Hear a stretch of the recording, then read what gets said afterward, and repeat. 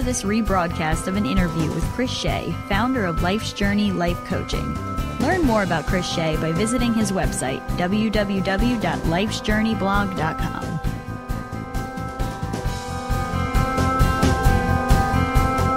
Thank you for hitting that play button. You know I appreciate it. So let me ask you this. Do you find yourself struggling to find inner peace? Does the constant chaos of life keep you from reaching your full potential? You know, we often get caught up in the everyday minutia of life and lose our inner focus. We find ourselves failing to live in the moment, right? That happens to you, right? Well, if there was a way to find peace and calm within yourself to lead you to a path of inner happiness, would you follow it? Would you like to be able to appreciate those moments in life that often get forgotten? I know that answer is yes. That's what you're looking for. This is your podcast for health and inspiration. Which way is life? I'm your host, Bill Klaproth, and this is episode 77. And we're going to help you find that inner peace today. And if you can, please take 30 seconds and rate and review the podcast on iTunes. I would greatly appreciate it. And my guest today is Chris Shea, founder of Life's Journey Life Coaching, Counseling, and Consulting Group. Chris has spent 20 years in the counseling field teaching people meditation and techniques for living in the moment. Chris helps people connect with their inner selves to find the peace they seek from within. In addition to coaching, Chris publishes blogs and podcasts on his lifesjourney.com website and is out with a new book. The Journey to Inner Peace starts here. Chris, thank you for joining me today. I like to start the show with the one thing. Are you ready? I am ready, and it is great to be on your show. Well, thank you, Chris. I appreciate that. Can you quickly share with us one thing someone can do to improve their life today? One thing to improve your life today, right at this moment, I would say the best thing to do is to pause for a second and just take a look at the world around you. And just be in that moment. Just be in that moment. So And- often we uh, tend not to do that. And it's good to get into that practice then, too. And I'm sure you're going to tell us more about that as we get into the interview. Correct. Yeah. I mean, it's all about seeing that world around you and especially the little things, you know, that we typically miss through the busyness of our day. Oh, so important. Love it. Love it. All right, Chris. Well, before we dig into your story, let us in on your personal life. What brings you joy when you're not saving the world? Oh, I wish I were saving the world. How wonderful that would be. I think you Um, are. well, we we try, but uh, the the greatest joy for me, I would say, is family. Uh, you know, with uh, my wife and the kids, and uh, there's a grandkid on the way, and so for me, that's uh, right now what's bringing the best joy to my life. Well, congratulations on that, and that sounds really cool. Love it. And I quickly want to mention Which Way is Life is brought to you by Audible.com. Get a free audiobook download and 30-day free trial at audibletrial.com slash Which Way is Life. Over 180,000 titles to choose from for your iPhone, Android, Kindle, or MP3 player. Chris, let's dig into this. Tell us, what is the biggest obstacle people face in finding inner peace? In one word, I would say ourselves. Um, we tend to block ourselves from finding inner peace. And it's so frustrating. I mean, I, I've been there, I've done that. I, I see my clients doing that. Um, but it's really in how we view ourselves, how we view the world around us, how we're able to acknowledge our own giftedness. And most of us don't take the time to do that. We just kind of go through life, and when things happen in life, we tend to sit back and say, "Why me? Why is this happening to me?" Uh, without really recognizing that we are in control of our lives. So why are we our own biggest obstacles? What are we doing? Or or I not think for- doing? yeah, really, either way. but uh, I think for most of us, and uh, even speaking for myself, that it, it's just not taking that time to recognize that we can control what's going on around us. And what I mean by that is we have full control over our emotions and over our thoughts. And it's very important for us to really begin to understand that the actions that I take based on the feelings and thoughts that I'm choosing to have is going to impact the world around me. So I can't really stop things happening to me or around me.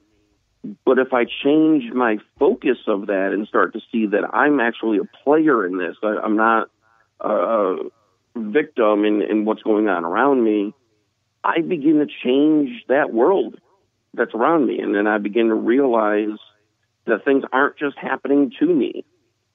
But that takes time to sit back and reflect on ourselves and, and to find a lot of uh, self confidence. Right. So we have full control over our actions and thoughts. You just said that. I love that phrase. So, and you said it's difficult. How do we get control over our actions and thoughts? You know, we're not taught this stuff growing up. Our minds are always going, thinking, racing to this, racing to that, worrying about this, thinking ahead to this. How do we get that control over our thoughts? The first thing that I would say is we just need to believe that we have control. Because so many of us, and, and again, I include myself in this, you know, how often have we said or heard people say that, you know, things such as he or she made me feel, or, you know, they made me do this. Phrases like that. We need to step back and stop using those phrases those phrases, we're turning our control over to somebody else. So if I'm going to say that somebody else is making me feel a certain way, that feeling is also going to have me acting in, in a certain way. I can't give them that control. To begin to understand that whatever anybody does to me or says to me, I still have full control of how I'm going to respond to that and how I'm going to feel about that there really isn't a set pattern that says if you say X, I'm going to do Y. If you say X, I have choices from A through Z on what I can do about that. It's the choices that I'm going to make, and that gives me the power and control over what's happening around me. So if you find yourself saying, you know, this person made me feel, or this happened to me. Why does this happen to me? So if you're the type of person that are saying those things to yourself, recognize that and go, hmm, I'm falling into this trap. Wait a minute, stop. I have full control over my thoughts right now, and I can choose to feel differently. Exactly, and and that's all in my choice. So when you know clients say to me, you know, things like, well, you know, I can't help what my family does, or I can't help what my spouse is doing, or I can't. All of those statements are totally true. So we we, we have no control over what another person is going to do. But the next step isn't the woe is me, look at what these people are doing around me. I want to say then to the person, all right, so what is your response? What are you doing in response to that that's going to counter that, which ultimately is going to give you your own peace? And part of finding that inner peace is we have to be complete within ourselves in the sense that the way that I view the world needs to mirror what my values about the world and about myself are. So if I'm acting within those values, acting within the way that I believe, I'm going to be more at peace. It's when I start acting against those things that I believe that I start to lose that peace. And then I start to blame other people. And that's very unhealthy at that point. So, Chris, let me ask you this. How does a lack of inner peace, then, you were just talking about it, how does that impact different areas of our life? I think it impacts everything. Uh, the way that I've learned through working with others and even through my own self reflection that the way that I feel about myself is going to influence the way that I feel about and view the world around me. So, you know, when, when I look at myself, if I'm not happy with who I am, if I'm not feeling peaceful, if I'm feeling anxious and, you know, life just isn't right, there's no way that I can look at the world around me and, and find beauty in it and find peace in it and find happiness in it if I inside don't feel it or see it. So until I start to change that part within me, then I can start to look at the world around me and say, hey, you know, it's a cloudy day, but aren't those clouds really, you know, nice? Aren't, you know, it's raining out, but hey, we needed the rain. You know, it changes that perspective because I can see within myself, you know, I, I kind of like who I am and I'm kind of comfortable where I am. So to me, well, the rainy day, okay, we needed it. It's washing things. You know, life is good. Mm-hmm. So how do we get ourselves right inside then? Again, I keep emphasizing we really need time to sit and people can say meditate or you know whatever you want to look at it but for me it, it's just how do i within the course of my day just stop everything and focus on what i'm feeling what's going on around me and really just letting it all soak in and that's the meditation piece the mindfulness piece just know what's happening. You know, kind of what we had said at the beginning of the show. You know, it's if we stop for a moment and look at the world around us, do we notice the small things? You know, do you notice uh, a bug that flies past you, or something walking down the sidewalk? You know, or you know, this this little flower that maybe you didn't notice in the busyness of, of the day. Once we start to focus on the small, we can start to focus on ourselves and then start to look within ourselves and say, you know, what's good about me? What do I like about me? What really don't I like? You know, what, what are those things that maybe I need to shift around a little bit? Uh, you know, what is it that I need to work on? But if we don't stop and do this, we're just going to keep in that hustle and bustle. And as we miss the little things, we're going to miss the little things in us. And, you know, as anybody knows who's in any type of relationship, it, it's those little things that over time is what's going to become the problem. Right. If you don't address those little things, they become big things. So I think that's really good what you said there is first you got to slow down and kind of live in the moment and recognize what's going on around you and then turn that focus inward and while you're learning to be still and reflect on yourself and and really become more self-aware. What is it that I like about myself? What is it that I don't like about myself? Or what is it that's bothering me? Or what is it in my life that that I just don't like right now? So that's what you're saying, Chris. That's what we all need to do, right? Is is try to answer those questions first. Then we can move into more of a, a state where we do find more inner peace. Exactly, and I think what messes up a lot of people as, we're going through this is that it is a process and it's not going to happen overnight. And we live in in such a, a culture, you know, where everything is immediate, and people want to know what is the secret to finding inner peace. How am I going to get inner peace today, right now? And I'm I'm very blunt to my answers. I've had people say that I want inner peace now. I was like, well, you're not going to get it. Serenity now. Serenity now. Exactly. Excellent episode. Um, but but yeah, I mean, it, it's not going to happen, and, and it is going to take some work.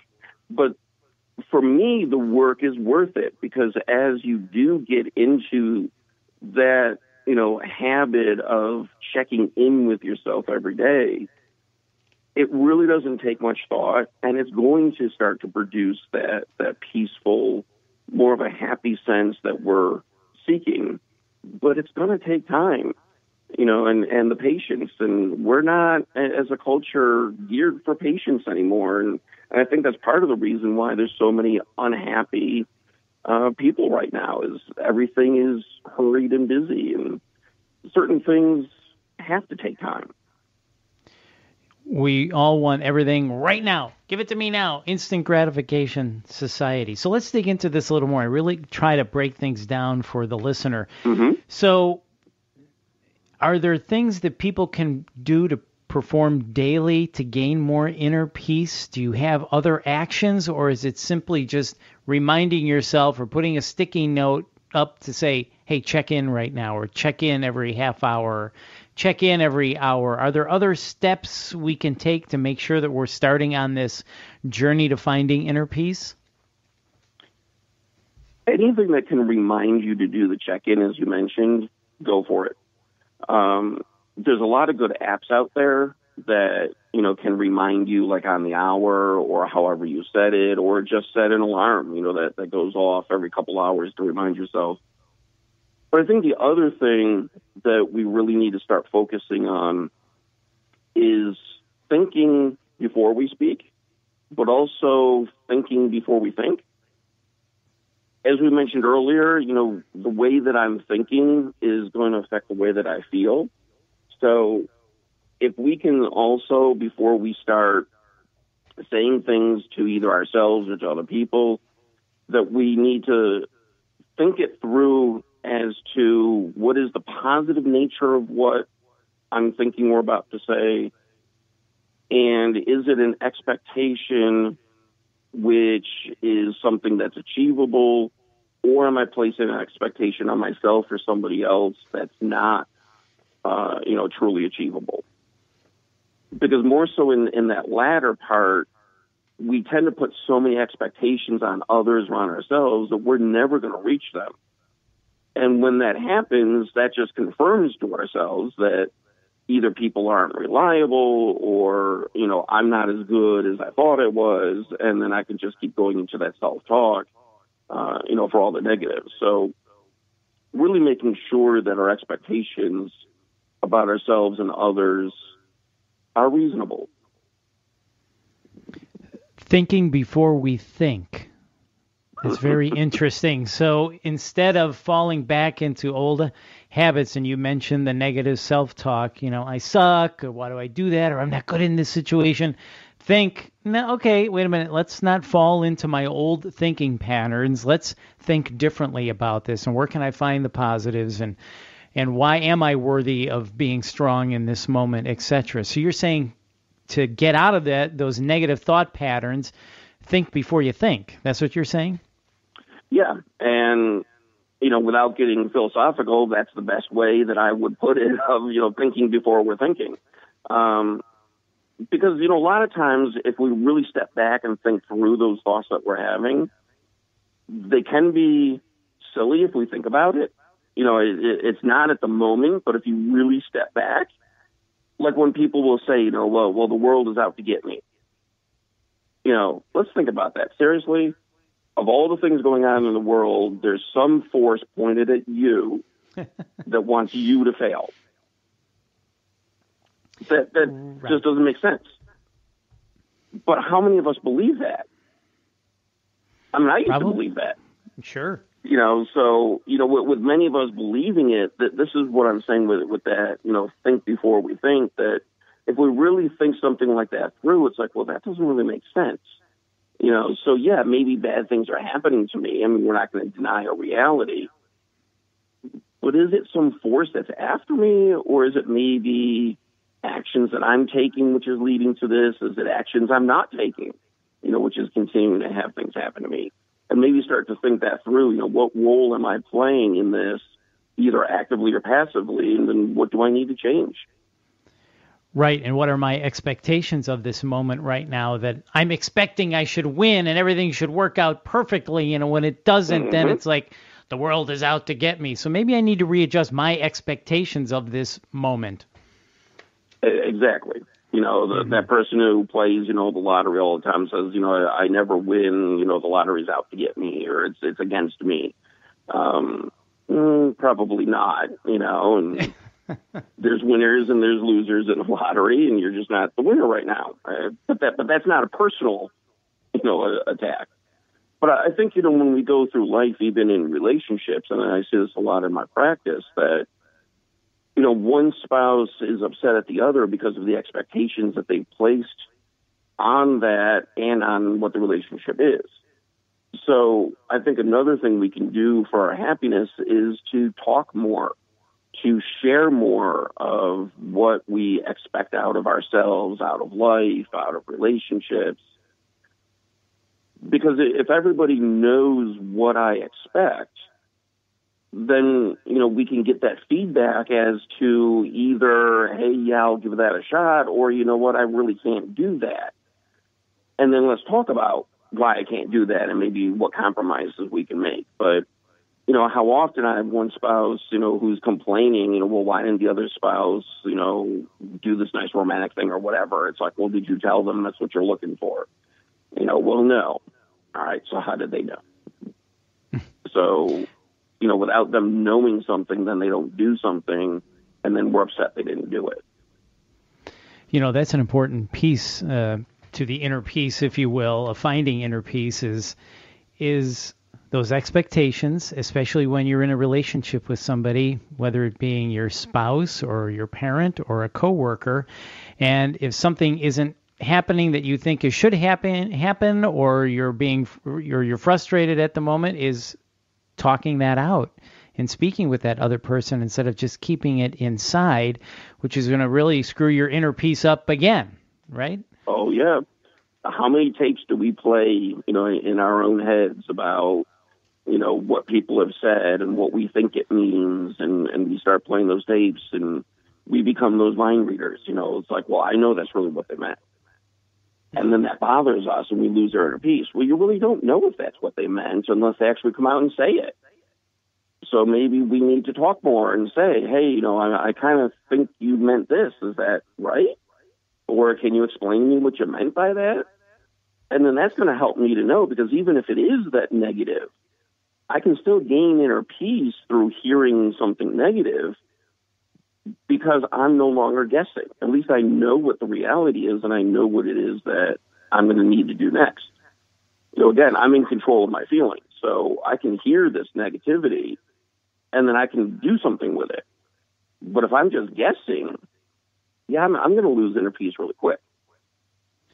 Right. Gaining that clarity is so important. So then you know instead of conjuring up all these other thoughts in your mind, which may not be true.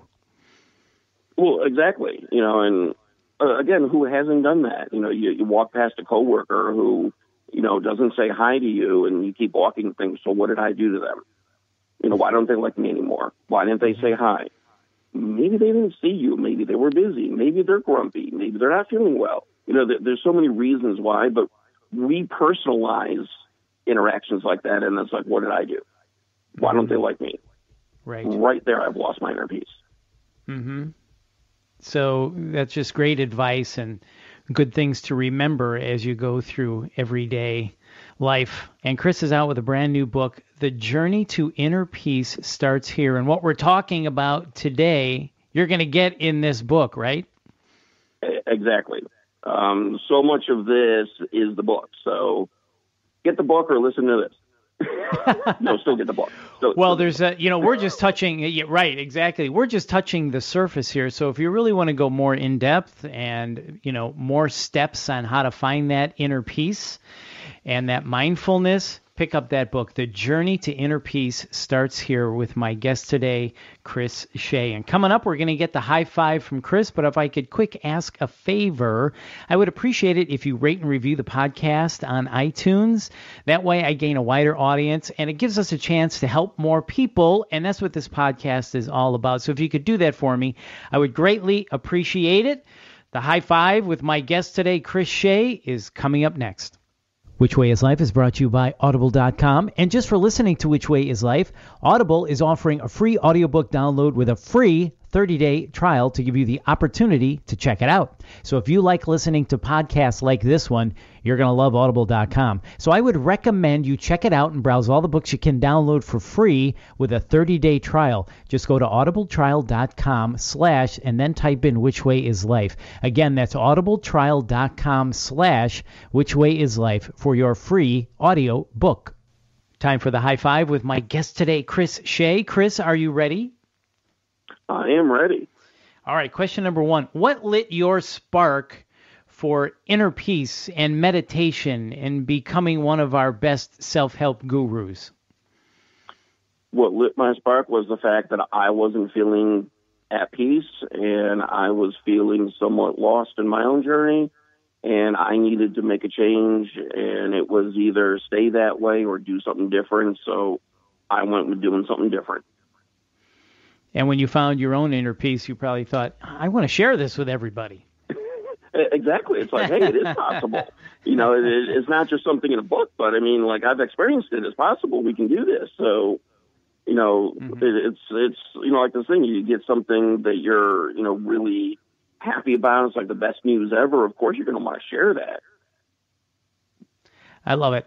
All right, question number two. Uh, knowing what you know now, what would you tell your younger self?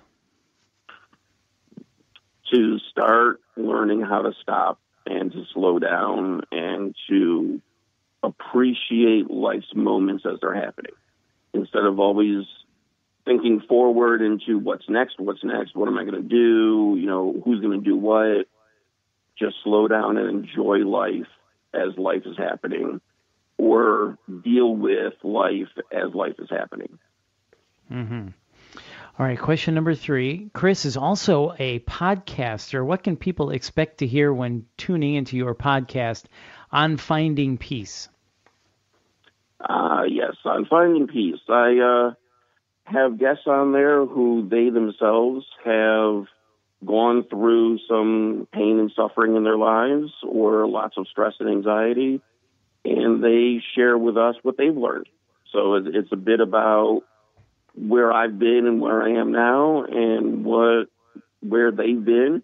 And my guests consist of, of authors and counselors and actors and actresses and models, just people who want to get a message out there that says, you know what, we can change the way that we view ourselves and we can find inner peace. So good. So if you like what you're hearing today, make sure you check out On Finding Peace with Chris Shea. All right, question number four, Chris. Do you have a favorite quote you can share with us? Oh, there are so many quotes out there. I just love quotes. Um, I would say if I could do two really quick ones.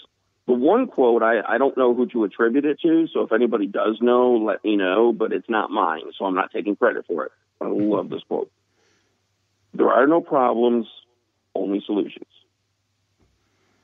I think it's a it's a great reminder that if we want to stay focused on thinking of solutions and thinking of what we can do to make ourselves uh, you know, more peaceful and change the world around us, then we're not going to be focused on the problems. It's just, you know, what are the solutions out there?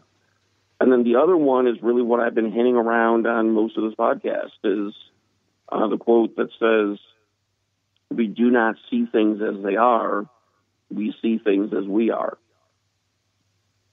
So again, it's that inner sense of um, you know, the way that I feel and the way that I see myself is going to be reflected in how I see the world around me.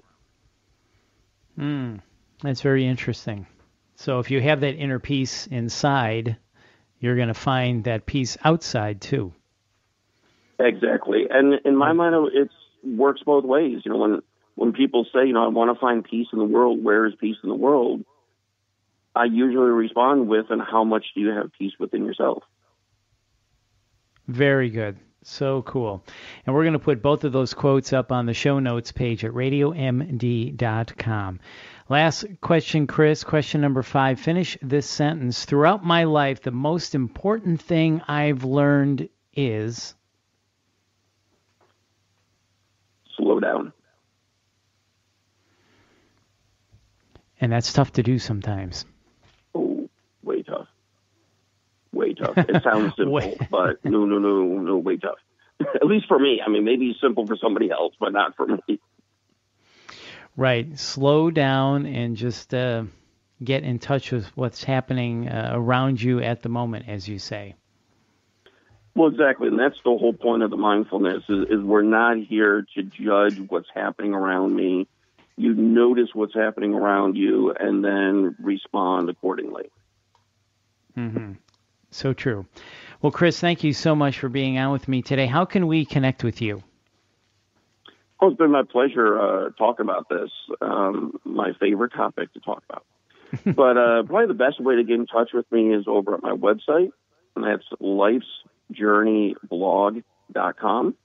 And over at the website is all the links to all my social media, to the podcast, uh, the book, emails, all that kind of stuff, uh, you can find over at that website.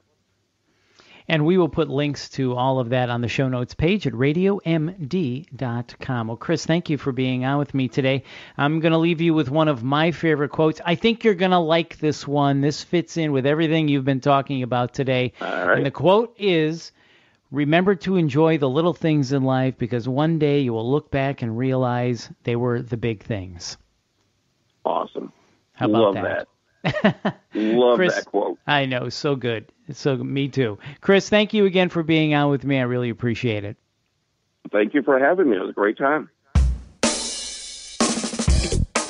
Love talking with Chris. A lot of fun and just great advice to help you find that inner peace that you're searching for. And thank you for listening. Remember to catch every episode of Which Way is Life.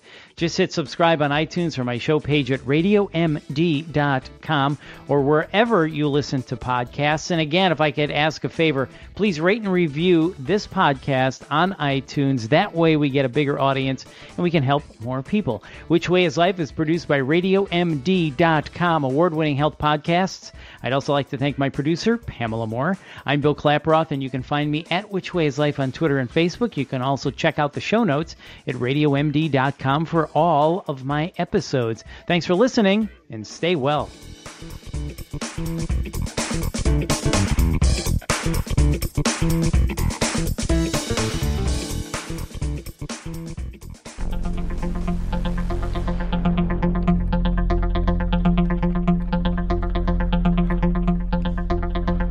Thank you for listening to this podcast episode. And I hope that the message in this episode has inspired you and given you some of the tools that you need to find peace in your life.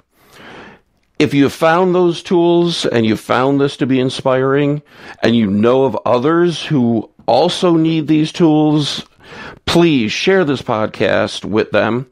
Let them know of the opportunities out there that they too can find their inner peace.